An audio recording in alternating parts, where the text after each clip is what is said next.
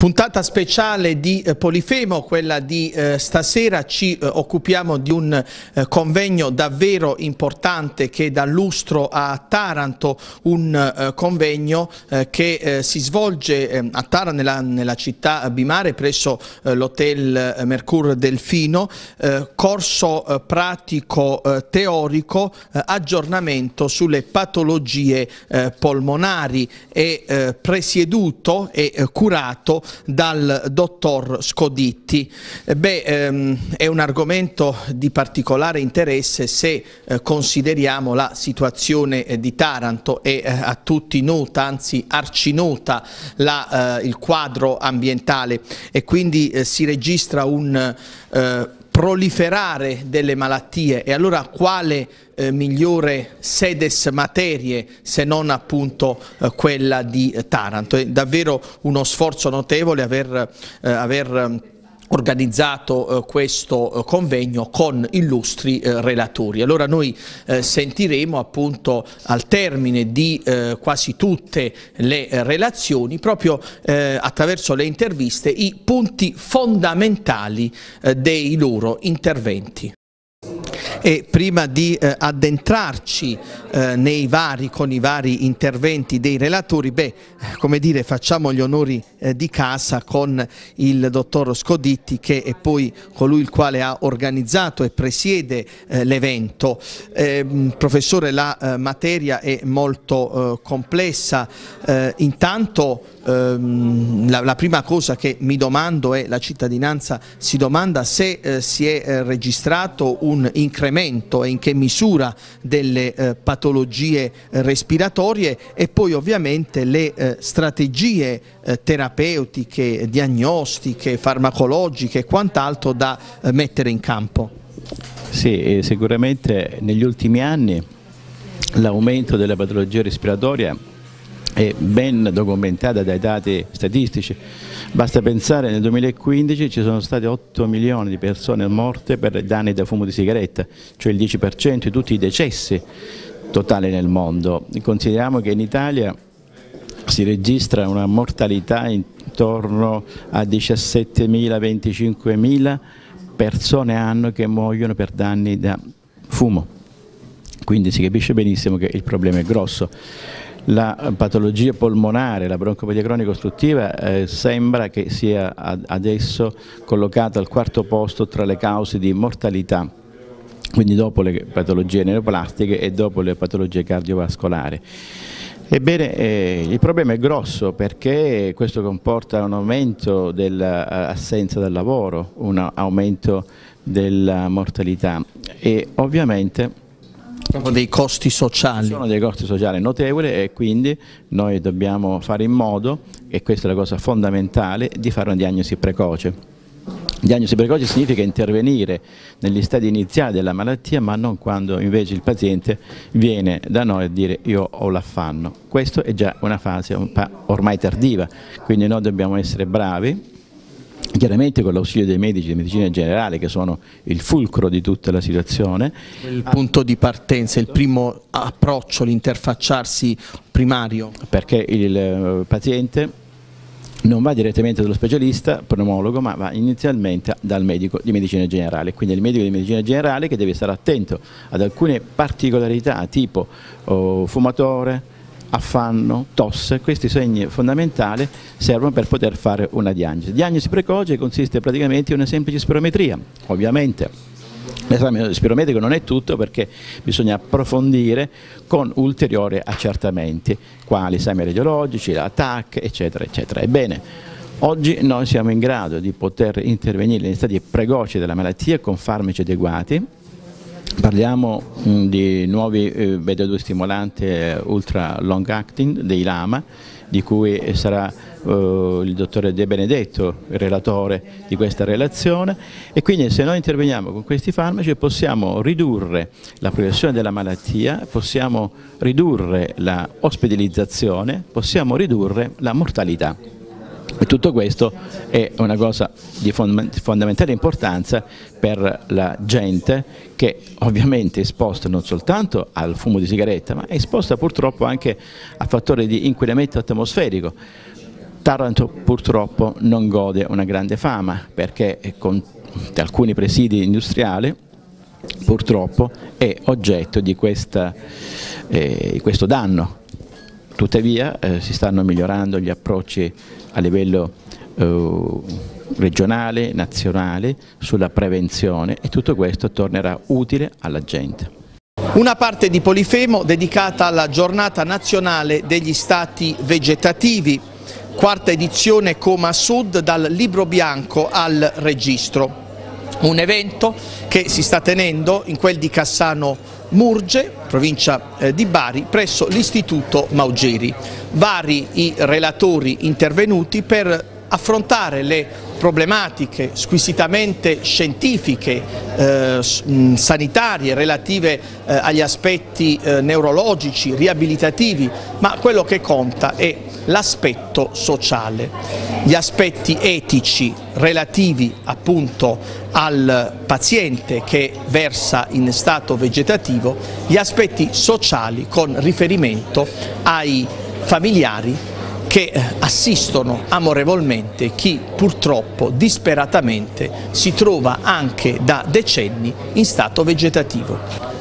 La eh, condizione dei eh, pazienti in eh, stato vegetativo è eh, davvero drammatica e sono comprensibilissime le varie sofferenze innanzitutto fisiche che il paziente proprio a causa dello stato di inerzia, di immobilità assoluta, dicevo, queste conseguenze che il paziente deve sopportare e con lui tutto il sistema sanitario e familiare che lo assiste. Ma quando interviene la eh, tecnologia e la tecnologia eh, d'avanguardia italiana riesce a dare sostegno, riesce a dare conforto e supporto a certe sofferenze, beh, è opportuno evidenziare queste, eh, queste realtà all'insegna della espressione eh, latina eh, melius vivere eh, semper possibile est. Siamo qui con eh, Cosimo Chiffi, amministratore unico della eh, ROAD 2000 che ha realizzato lettino mobile roteante. Di cosa si tratta e la sua dicitura precisa?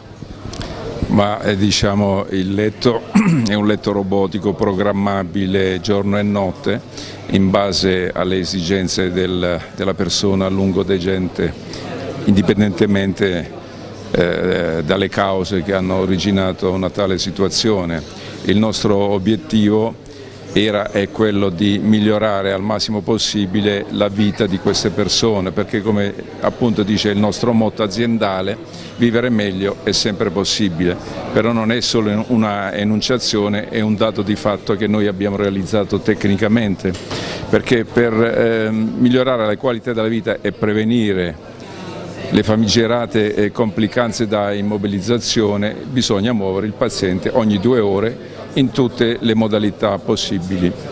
Oltretutto proprio questa, questa realtà eh, tecnologica eh, consente di eh, ridurre sensibilmente lo sforzo e la fatica degli operatori sanitari.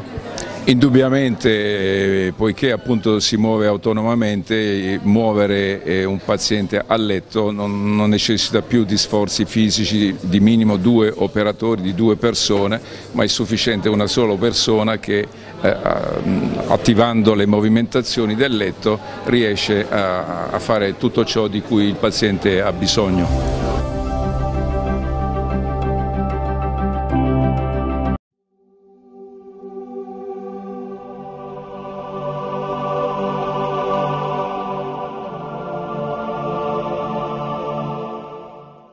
Amici telespettatori, eccoci con una puntata insolita, diversa di eh, Polifemo. Infatti eh, quest'oggi eh, Polifemo si occupa di medicina, si occupa di un importantissimo eh, convegno che vede protagonista la Puglia e la Basilicata.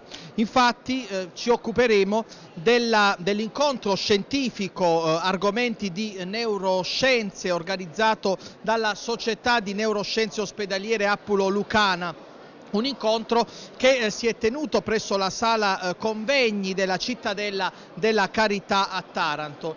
Dunque parliamo di neuroscienze, parliamo di neurologia, parliamo di neurochirurgia è eh, un convegno eh, molto ma molto strutturato molto ma molto bene in eh, maniera davvero capillare. Infatti c'è tutta, tutta una serie di relazioni ehm, relativamente appunto a questi argomenti e ehm, anche la trattazione di vari casi clinici.